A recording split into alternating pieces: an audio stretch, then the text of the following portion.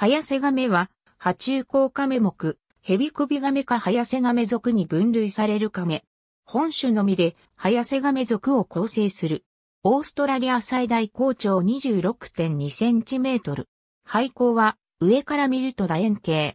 第1、C 甲板は、第2、C 甲板と同じ横幅かもしくは、第1、C 甲板が幅広い。背高の色彩は、褐色や暗褐色で、不鮮明な気褐色の反紋が点在する。復興は小型で、細長い。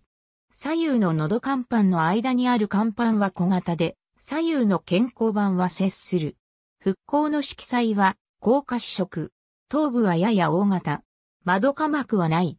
頭部や頸部の色彩は、背面がオリーブ色や褐色で、覆面が黄色や橙色。老齢個体では、覆面の明色部が大きくなり、色彩も強くなる。格子の爪のある跡は5本。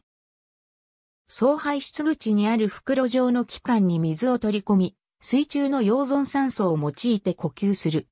本種は、亀目でもこの器官が最も発達し、極系亜目及び線形亜目の一部では主に呼吸の補助器官として用いられる。尾は短く、断面は円形。葉体は背高が上から見ると円形で C 甲板に筋状の盛り上がりがある。円甲板の後円がノコギリ状に尖る。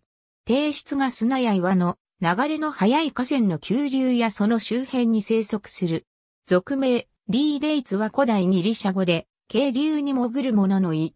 完全水性で、産卵以外で上陸することは、ほぼない。空気呼吸を行うことも稀。